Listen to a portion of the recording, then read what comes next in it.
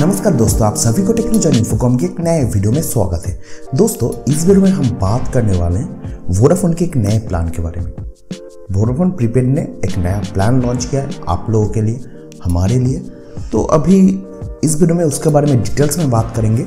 लेकिन वो जो प्लान जो निकला है, उसके बारे में तो आपको बताऊँगा। उसके पहले कुछ और चीज़ बताना ज़रूरी है।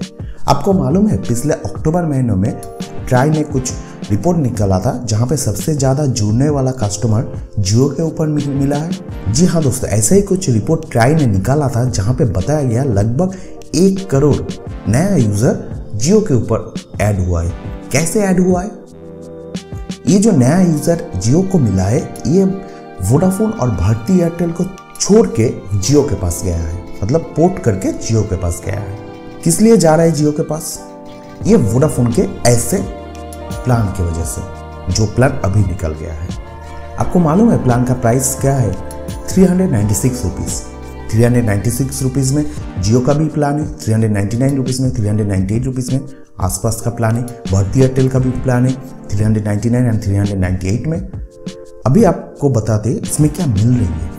399 में जियो के ऊपर 1.5 जीबी की डेटा मिलती है डेली एंड 84 डेज़ का वैलिडिटी मिलती है। भारतीय एयरटेल के ऊपर एक जीबी की डेटा मिलती है। 70 डेज़ एंड 84 डेज़ का वैलिडिटी मिलती है कम्बिनेशन पे आपको मिलती है। उसके लिए डिटेल्स वीडियो मैंने बनाया ऊपर आई बटन पे मिल जाएगी, आप देख लीजिएगा भारतीय एयरटेल एंड जियो के लिए। वोडाफोन का 396 का आपको बताते हैं वोडाफोन ने 396 में नया प्लान निकाला है, जहाँ पे आपको मिलती है 1.4 GB daily data and the validity is only 69 days only 69 days और तीन रुपए ज़्यादा देके जियो के ऊपर आपको 84 डेज़ का वैलिडिटी मिलती है। 1.5 जीबी डेटा मिलती है डेली अब यहीं पे 1.4 जीबी मिलेगी और 69 डेज़ का वैलिडिटी मिलेगी।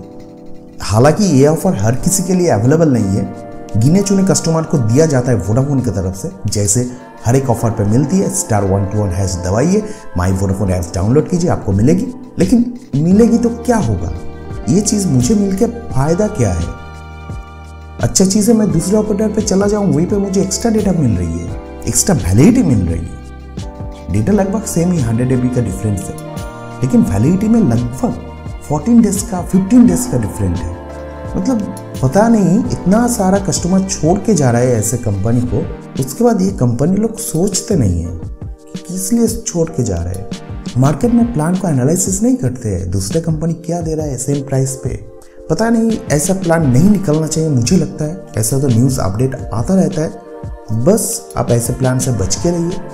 मत रिचार्ज करवाना ऐसा प्लान मुझे जो कहना था मैं कह दिया।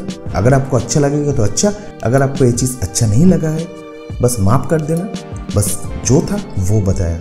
मैं वोडाफोन के खिलाफ नहीं हूँ। एक चीज़ मैं बता रहा हूँ, मैं ना ही मैं जियो के पक्ष में हूँ। जियो का सर्विस मेरे यहाँ भी खराब है। मैं बहुत सारा कंप्लेन कर चुका हूँ। मैं मैं किसी कंपनी के खिलाफ नहीं हूँ। ना जियो के पक्ष में हूँ, ना वोडाफोन के पक्ष, ना एयरटेल के पक्ष। किसी के पक्ष में नहीं हूँ, ना किसी के खिलाफ में हूँ। लेकिन जो सही है, वो आपको बताता हूँ। वो मेरा काम है। मैं यहीं पे एक टेक चैनल लेके आया हूँ यूट्यूब के ऊपर, और जो सही है, वो आपको बताऊँगा। ठीक है? तो दोस्तों, मुझे उम्मीद है मैं आपको डिटेल्स में बता पाया प्लान के बारे में। 396 में 1.4 जीबी डेली डेटा मिलेगी 69 डेज़ का validity unlimited calling and SMS के बारे में अभी तक नहीं बताया गया इस प्लान में मिलेगी या नहीं मिलेगी। ये डिपेंड करता है आपके फ़ोन के ऊपर ऑफ़र के ऊपर। तो अगर आप रिचार्ज करवाना है तो कर सकते हैं, नहीं तो बस स्किप कर सकते हैं दूसरे प्लान के ऊपर वोडाफोन के ऊपर। तो दोस्तों, बस यही है।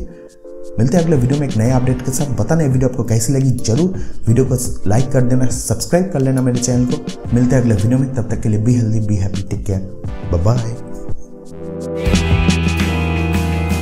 Subscribe my YouTube channel and press the bell icon and never miss another update.